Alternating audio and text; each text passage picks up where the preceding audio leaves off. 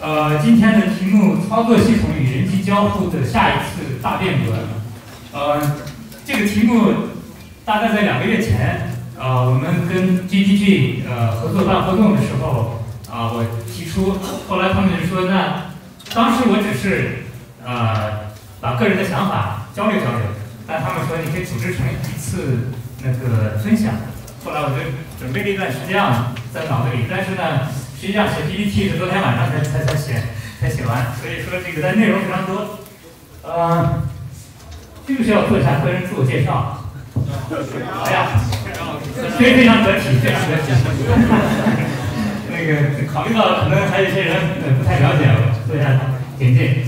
我是零四年本科毕业，就是留在那个西安电子科技大学计算机学院，到现在还算是这个正式的呃老师啊。啊，其实也从去年开始，也是在学校开这个区块链的课程。最最近讲区块链，我也讲的是比较多。今天来的一些呃西电过来的几个学生，可能也是听我课啊才过来。那个呃，连续创业者从零五年开始创业了，所以有些经历了十几年的呃各种经验教训。嗯，然后一三年呃在西电在西安创办这个闪电孵化器，呃，孵化这个呃。智能硬件的项目比较多啊，包括小米对讲机啊，小米系都孵化了几个啊，还有其他的一些周边的，大概是一个几十家公司吧。呃，包括区块链领域的这个智慧科技啊，也也是我们投资的。呃，然后呢，我一六年其实接触，就是创办了一个区块链的专项孵化器，一一六年比较早，当时在西安，反正也是推广啊这方面的一些呃呃技术和想法，嗯。但是那个时候不太火，后来这个也是行业大起大落的，嗯，还有一些社会兼职就不一一说了，反正就是总之就是创创圈儿啊，创业投资圈儿，我的经历是非常丰富，不是一个完全不是一个合格典型的大学老师啊，啊不能说不合格，但是不是一个典型的大学老师啊，但是创投圈儿呃经历是比较多的啊，这个个人简介。好了，切入主题了啊，时间非常有限，嗯。首先，我们讲到人机交互，那呃，其实按我个人的理解，啊，我是一个业余人士啊，在这个方向、这个领域，的确是我的个人爱好。嗯，这这不是谦虚的说，因为这方面的学术圈我是没有没有那个涉猎过的啊，只是呃说一些个人的理解。呃，HCI 就是 Human Computer Interaction，呃，人机交互。呃，以我的这个理解，这依赖于两方面的紧密结合。一方面就是狭义的人机界面，人机界面实际上本质上就是输入和输出；另一方面呢，就是软件智能。呃，我们可以把它解剖为这两方面去逐个分析。当然，最终呈现的其实是这两方面紧密结合的。首先，我们看第一部分，就是狭义的人机界面。呃，回顾一下历史啊。呃，限于今天的时间，确实我们不能从计算机发展史推推演太久太久了，我们只能从近代的、从现代的非常短的这个计算机的历史来去看。呃，那我们能认知到的，或者我们能接触到，目前日常能接触到的比较早的人机界面，很可能就是这个呃，com 呃这个命令行对吧？CLI command line，呃，命令行的这个呃呃界面。呃，我想程序员应该都每天会用到啊。我刚才在那边听，我还得在那边跑点代码，还能跑代码。我就在那几个命令行跑点代码。啊，这个这个就很早了，这个也不需要多说了。呃，快速过一下机器非常多。那个后来呢，这个到了大概七八十年代，开始出现这个啊，呃，对，GUI 就是 GUI，Graphical User Interface，图形用户界面。呃，那么相应的概念也出现了，这个 Win，啊，Win 就是 Window，啊，这个呃，Pointer、Mouse 这些，嗯，还有就是这个一个概念就是所见即所得，WYSIWYG，What you see, what you get，啊，就你看到什么你就得到什么，这就是啊，当然这个也有历史啊，我不能今天不能细讲，这细讲起来，这这一个都能讲个三个小时，啊。就这这这这个过程当中，那个比较牛逼的一个机构就是 Xerox PARC，呃，后来被惠普收购了，就呃，它叫那 Palo Alto Research Center。这个大家如果回顾计算机历史，就就这个是也是有传奇性色彩的一一段一段这个可以说人类历史上最牛的呃科研机构之一吧，啊，计算机领域啊。那么我看到这张这张图，这张图呢，其实它是一它是那个 Smalltalk 七六的呃界面。Smalltalk 是一个面向对象的程序设计语言。啊，就最早就是那帮人，就是 Alan K 啊，这大牛 Alan K，乔布斯的好朋友，啊，到现在还还这个已经八十多岁了，现在很牛的一个呃，对这个呃，就是这个 lnk 啊提出的就是设计的这么一个面向对象语言。那么它跟这个 GUI GUI 图形用户界面是紧密相关。我一会儿会讲到这个程序设计语言级别这个层面上，我们怎么去呃考虑这个人机交互这方面。所以最早。跟图形用户界面相辅相成出现了 Smalltalk 语言，这个可以说不但开创了人机呃开创了这个图形用户界面，也开创了啊这面向对象编程的啊先驱可以说是。后来就出现了这个呃乔布斯的啊苹果做的 Lisa，虽然这是一个比较失败的系统啊，在工程在这个商业上失败了啊，但是这个还是非常伟大的，因为它定价太高。后来出现这个 Windows。呃，Windows 呢，大家看这个界面啊，Windows 一一点零一啊，呃，最早的应该不是最最早版本的，但是它是一个呃，算是一点零嘛。呃，大家可以看到 Windows 它是基于 DOS 啊，当然没有没有脱离 DOS，完全是基于 DOS。呃，好，没背过。然后就是 Macintosh，这个是比较成功了。Vista 失败了之后啊，那乔布斯又做了这个 Macintosh，最早的 Macintosh 大概就是这么个样子。呃，我们今天用的，呃，其实从核心的东西上面，跟这个时代的没有过多的区别。我们每天用 Mac 对吧？没没没有，就是它核心的一些交互，呃，就是 Win 这套东西，呃呃，就是 Windows 啊，就这些，呃，基于呃窗口，然后用鼠标键盘去操作这套东西，跟今天没有过大的区别啊。从从它的模型上啊，至少从这个。但是这个呈现的这种呃好不好看啊，就什么这些优化的角度，其实这就就差异就大，对吧？但是核心的东西没变。还有就是 Unix 界的这个 X Window 系统，哎，也也叫 X Eleven、X 十一，对吧？这个是呃呃，这都是 Wikipedia 上找的这个图啊。呃，那当然它不是一个，它没有描述一整套的这个 UI，但是它是一套系统。啊，就是它服务器的 client server 这种架构，其实 X Windows 是是一套架构。嗯，后来又出现这个 Postwin 啊，就是呃比这个键盘鼠标啊这个之后，比方说这个不是很新的概念，比方说 ATM 机啊，它就没有键盘鼠标，对吧？你按几个那个按键，它的界面跟传统的这种 PC 键盘鼠标是不一样的啊，Terminal 是不一不太一样的。包括手机，我就没有贴图了，大家都比较熟的手机啊，不管是 Feature Phone 诺基亚的时代，还是后来的这个 iPod 智能手机，是吧？这都是啊叫 Post Win，Win 之后的一些交互方式。呃，还有一些其他的人机交互的啊，尤其在我刚才说这是第一部分，就狭义的人机界面输入输出这部分，那就是其他的方式，它基本上是利用人的各种的感官，比方说听觉、嗅觉。啊，这个包括动作，动作当然有肢体的语言啊，也有眼睛点动，眼睛动也是一种肢体，对吧？还有就是味觉啊，嗅觉、味觉在一块儿吧，算是，包括触觉，呃，触觉你看就有力反馈是吧？那苹果那也有那个叫 feedback，这叫什么？啊，3D touch。呃，还有就就是比较高级的就是意念啊，呃，脑神经啊，这个已经也不是遥不可及的了，实际上它。这个已经有一些呃有一些初步的应用了啊，还那个马斯克那种全局的系统性的这个啊脑神经的那个还早啊为数不多，但是它已经有一些包括霍金用的一些辅助工具啊，这是这都是一些其他的人机界面输入输出的方式，嗯，比方 Kinect，呃，还有这个对体感 PrimeSense，就是被苹果收购的一家一 PrimeSense 这家公司一开始是给 Kinect 一代。做做微软做一代的 Kinect，后来被微软踢掉了，微软自己做了，后来这家公司就被那个苹果收购了。但是收购之后，好像没见过动静，有好几年了已经。呃，Leapmotion 这家公司后来好像也被收购了，我搞搞不清楚。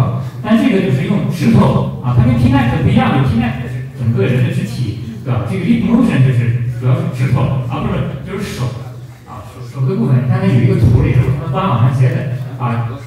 就是他这个手，这个，哎，他们每个指头都能检测的很好。那这个这个很有意思啊，这个用在那个 VR 上面 Oculus 这些，如果结合的话，还是非常好。因为 Oculus 现在这个手柄啊，呃，它其实可以完全可以脱离手柄，它就用摄像头就可以非常精确的看到你的五个指头怎么动。再一个就是力反馈手套啊，手套这个呃，可能大家有印象的就是在那个《头号玩家》电影里面，全是力反馈，全身力反馈。现在工程上很难达到，呃，都是这些原型，但是这个手套还稍微的靠谱一点啊。目前这个阶段，还有一个挺有意思的项目，Project Solid，Solid 是 Google 那个好几年前也是推出的一个，也是呃，就是它的视力是用指尖，是用手指。但是它跟 Motion 不太一样，就是它用啊那个雷达，它用雷达芯片啊去感知你手非常细微的变动，呃，这这雷达跟那个视觉这个感知相比，它有它的优势。但是这个项目呢，呃，属于 Google 的一个研究项目，呃，后来的商业化，呃，不是非常的，到目前很多人都呃一般人都不太清楚。但是它是对 Pixel 四的这个手机上是把它植入进去了，啊。但是这个，因为它没有没有实际的应用，目前，啊，所以大家可能感知不到。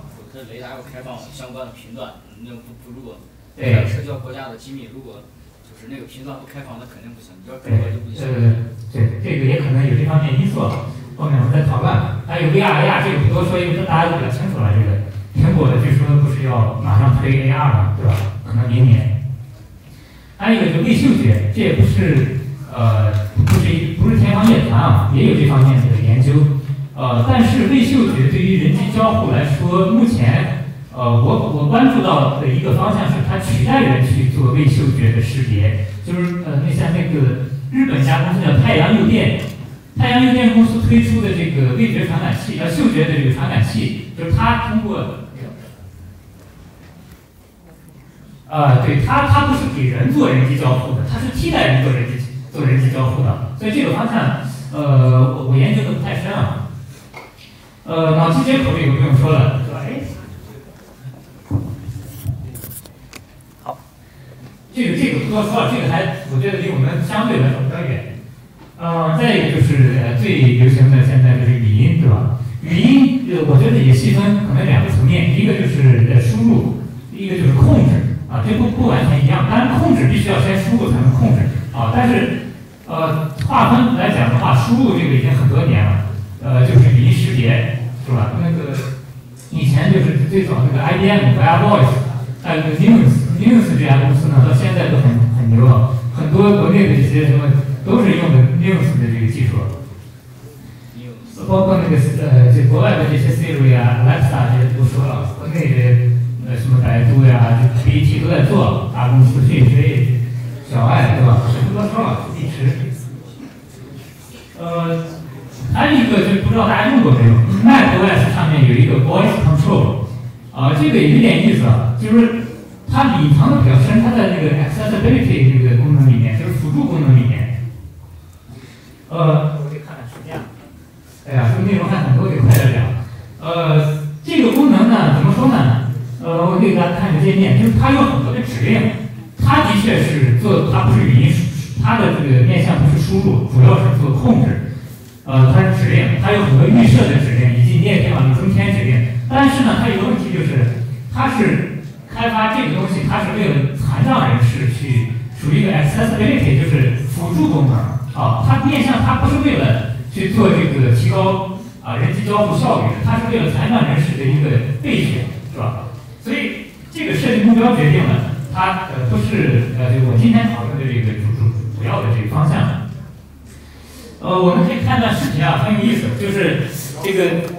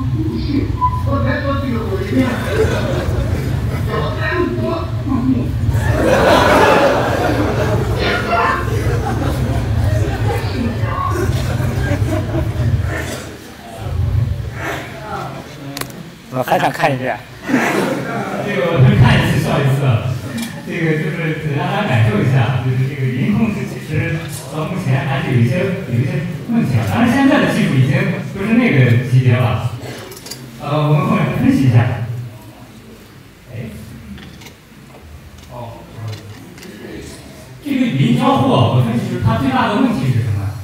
它的问题是在一个巨大巨大，甚至是。接近无限的搜索空间当中，来去要很精确的匹配你的指令、你的输入啊，就是你你你想你你说话人类自然语言是吧？说话这个空间是非常大的啊，然后它这个想要理解你，它要在一个非常巨大的可能性当中，很多的可能性当中去精确的匹配，哪怕只要有一点差错，这个体验就差，而且是纠纠错能力差。你看刚才那个纠正纠正是吧？歪传说人啊，这个纠正是吧？纠正那个。纠正纠正不了啊，这个，所以它不适合这个追求精确的效率啊，就是有些场景，比方说工作的这个严肃场景，我们是需要精确效率的，它就不太适合。但对于娱乐啊、社交，呃，比方说这个微信，你发个语音，让它识别一下，错了就错了，对吧？这些情况是比较适合的，就是它有它的限定范围。呃，那么我总结啊，前面说这么多的人机交互的这种界面。那有哪些是工作环境能够使用的？就是我们得限定一下，如果不限定，那这个各种场景太多了。那我们就限定一下，因为我们今天讲的下一代的这种操作系统和这个软件交互，我局限的这个呃上下文是工作环境为主，是效率工具。那我觉得这三个总总总结来说，在可见的未来，比方说就这几年之内，三五年啊，三五十年我不知道，呃，甚至五五到十年我也不知道，但三五年内。我觉得就是，我觉得就是这三个是还是比较那个呃靠谱的，呃或者说我们要重点去呃琢磨的。一个就还是命令行，它是视觉，对吧？呃，GUI 图形用户界面也是视觉，再一个就是语音听觉。呃，那么这三个三者的关系是什么？呃，我仔细琢磨了琢磨，也思考挺多的。我们可以分成三个三个这个。要素啊，一个是直觉化，一个是精确，一个是灵活可扩展。呃，我们先谈一个命令行，命令行是不够直觉化的啊，就是它是它要用脑思考，适合就适合程序员对吧？它学习曲线太高，一般用户学半天不一定能学会。所以呃，到此时代过去啊，这个这个命令行的时代过去之后，我们很少有普通用户去用每天的工作去用命令行的对吧？这个好理解。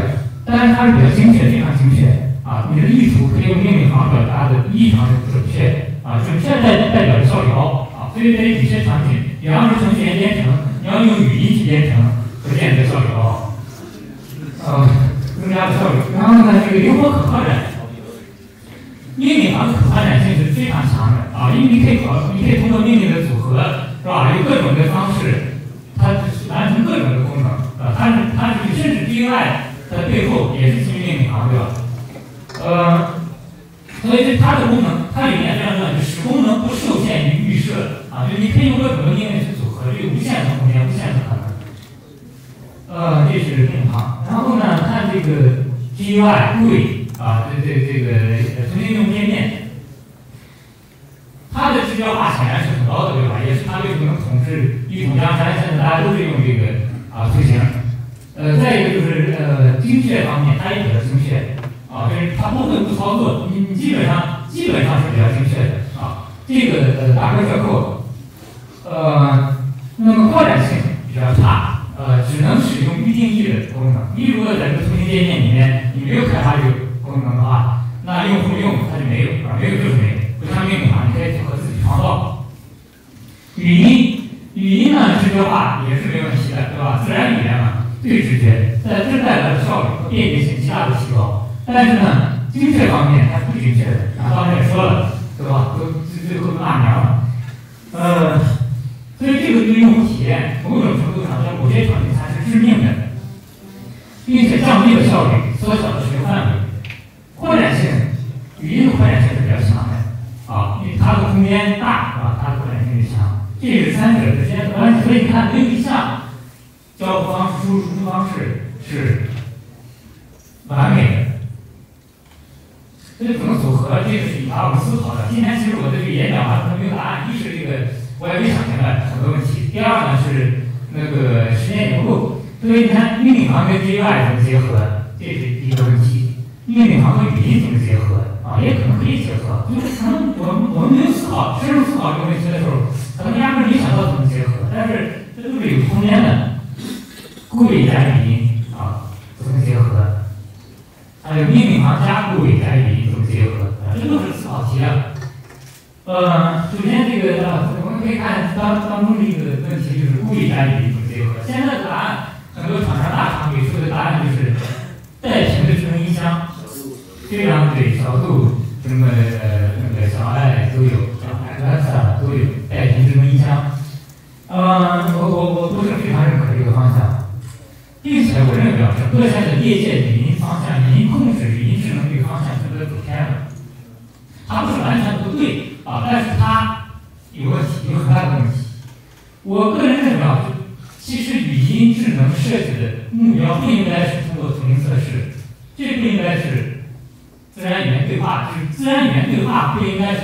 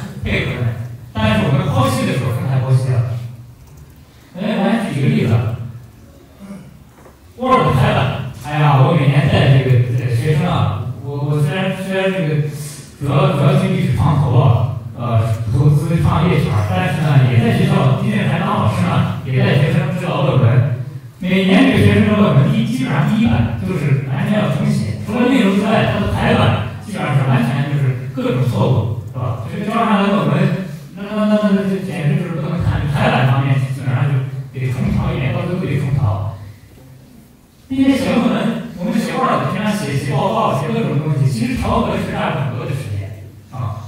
比方说写论文要调什么基础书页啊，什么以基础页开头，什么行间距、断断间距、标题的字体什么啊，这这这还有标号各种的引用文献的格式是吧？我想这个大家这个做毕设，大大家肯定大部分都毕业了，都都是写这个。这个以前回想起来，上大学做大四做毕设的时候，或者研究生做做论文的时候发论文，都有一个痛苦的经历，是吧？调来调去，这个到后来调不好。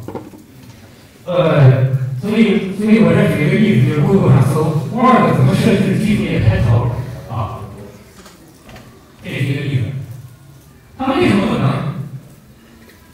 因为我生成，这是我站在用户的角度，我要求他。好好 Word，你给我生成一个不含摘要单人目录，你给我把全文的这个间距、行间距统一全文行间距，你给我按照论文模板重新排版，你给我引用相相关的文献，给我弄出来几千，对吧？这应该是一个软件所能达到的。好，再举个例子，做 PPT。我刚才讲到，我做这个 PPT，昨天晚上我做完，后半夜我要发给这主办主办的这个小伙伴。我我我实在我就不好意思交工，他们上上周就催着要交工，我是昨天晚上才交工。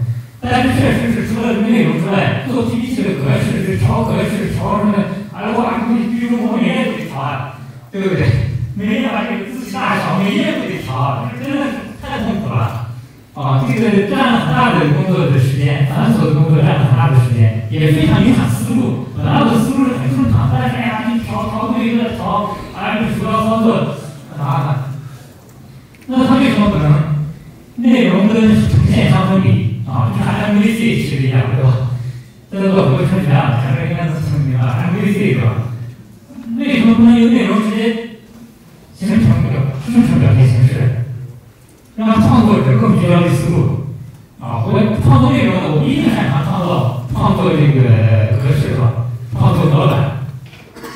然后为什么不能这样去说呢？把这段话相对对齐，或者把这段话居中啊，把每页的这段话做一个标题统一，把所有正文的字号放在一块儿。我昨天就是因为那个写的那个字号不一样，每页不一样，我每页都得调调到一样的字号，非常痛苦。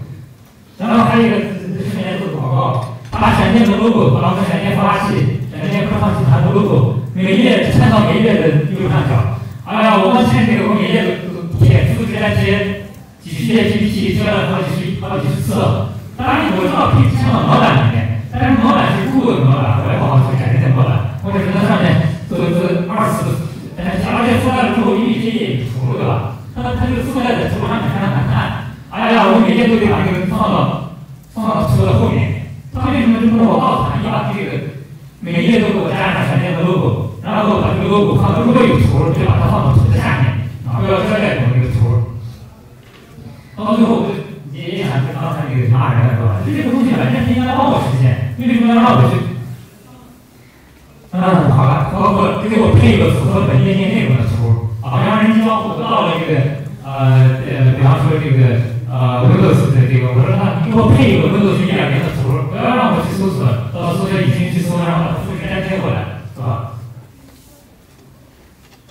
？Office 三六五已经在做这件事情，这个不是不是倒不是说都没有这个意识啊，他做的，但是他是 Office 三六五需要订阅用户才能看到这个功能，二零一九是没有的。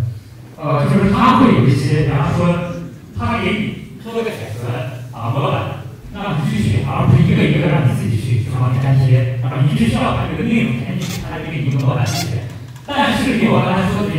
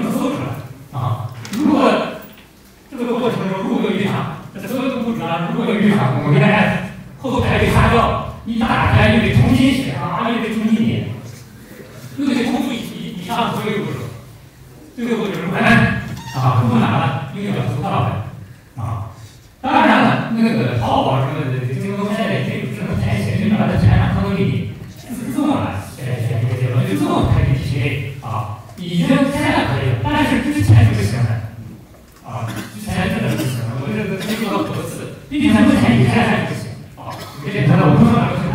这个对吧？那有些时候我最怕媒体不公开，确实还是安全问哦。啊，呃，这个前提？所以用户有什么义务知道？目的地快递填去哪个地方？用户有什么义务呢？啊，再举个例子，我讲，因为我的这个。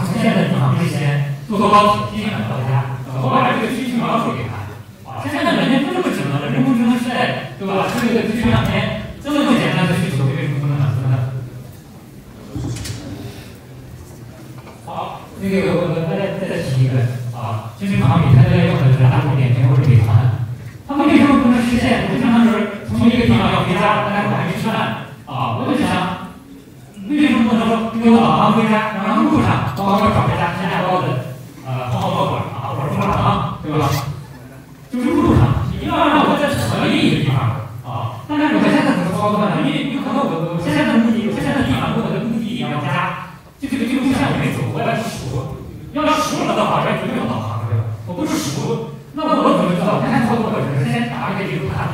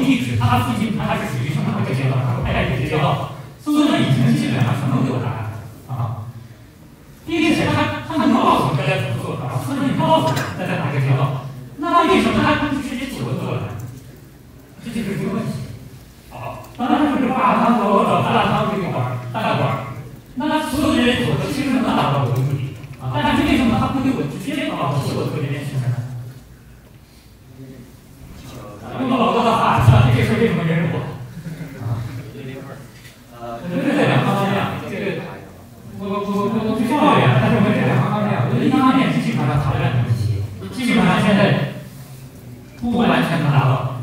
第二个方面，第一个方面是产品经理，它确实是个问题啊，它不考虑这些。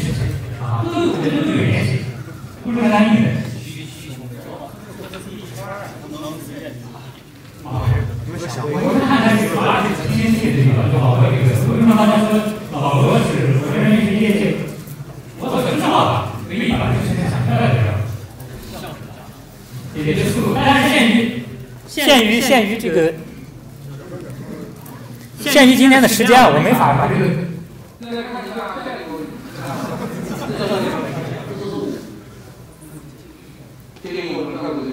你看他点放我这个框，然后输入输入这个输入数字。我一会儿讲。这个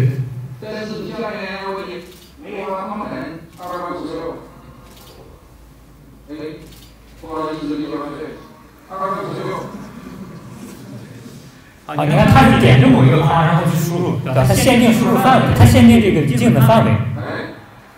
然后呢？啊，包括做这个 PPT 啊，今天时间有限，不能播完了。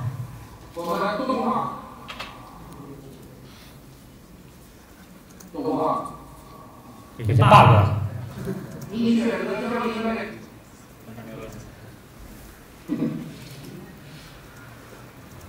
不说话。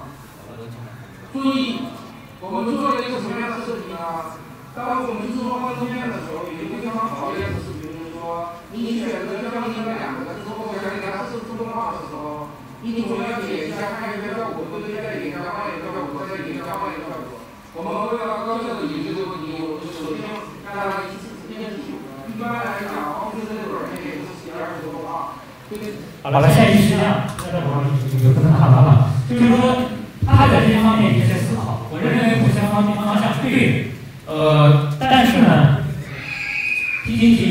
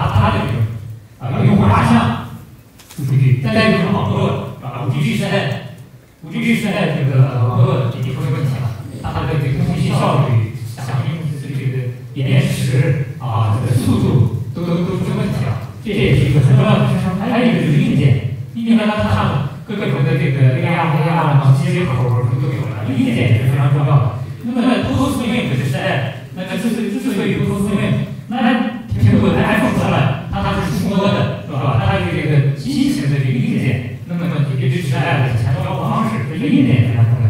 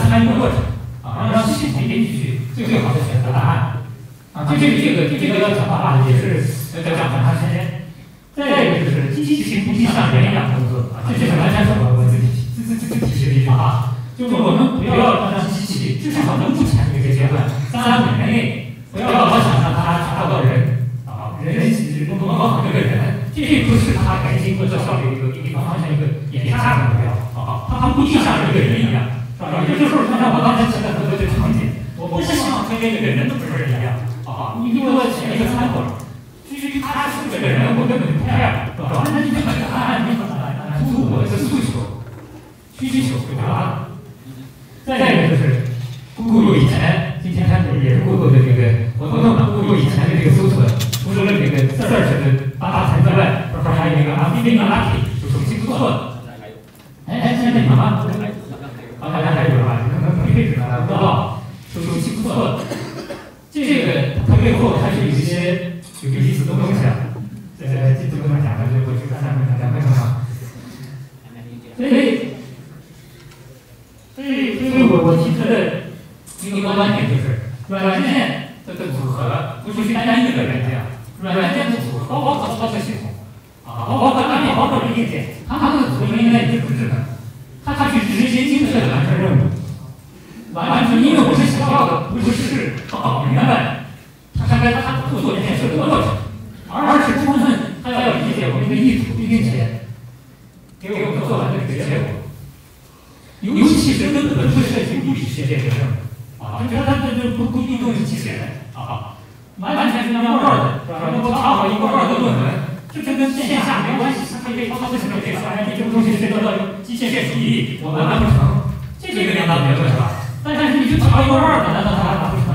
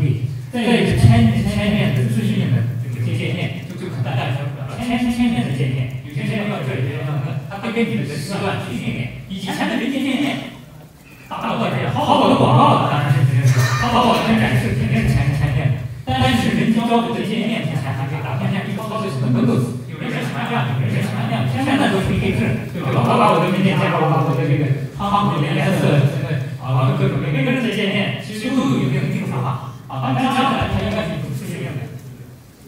再一个，各个应用和软件之间的数据沟通啊，就像刚才说的，单一的软件达不到我我想完成的目的，那么它们怎么深度的进行数据沟通？这这是一个软件方面。再一个就是社交会议的结合啊，目前产品链社交会议，这这是直接，其他的脑机接口啊、VR、AR，这对我们日常工作来讲，你带一个 VR 眼镜去工作，目前还看不到这个时代啊，那可能还是可以一个，但将来我不知道。将来我们但是以下三点，我觉得还是是社交会议的结合啊，包括就平衡了刚刚才讲三三个维度：知识要化、经济确性和灵活组织这三个方面，要告诉大家去平衡，一定恰到好处。还有一个操作系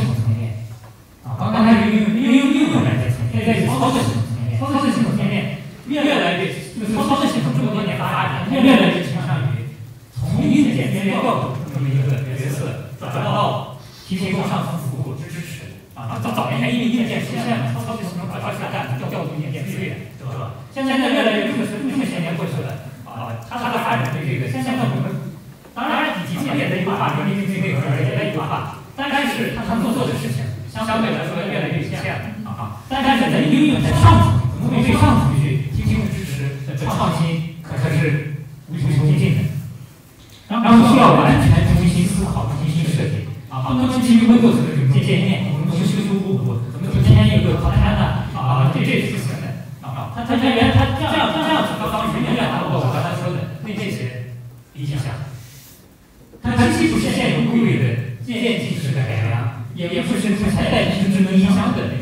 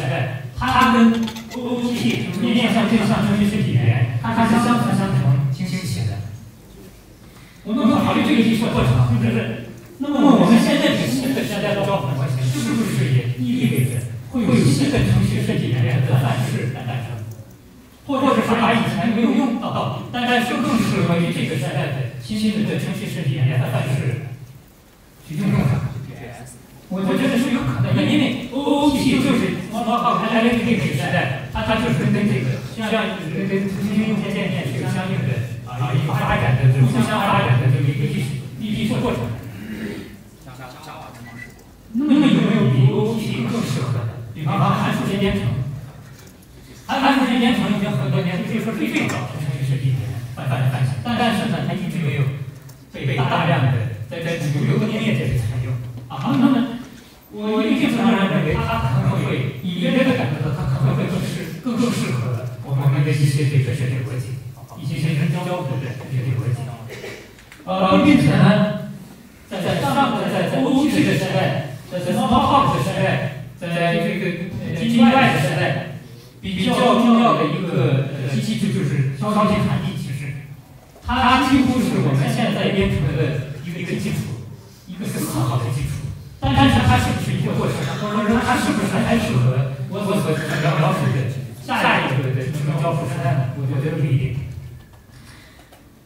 这个基本上内容就讲到这儿。呃，那么我我欢迎啊，有兴趣的设计师和这个创业者，我们共同列一期探讨这个话题。因为我说了，这个话题今天的分享纯属于是业余爱好，它跟我的主营业务，跟跟我们闪电孵化器、闪电客号做的事情几乎完全不相关。但是它是我一个个人的一个一个点。好好，那么我们有兴趣的人，我们可以一块儿去探讨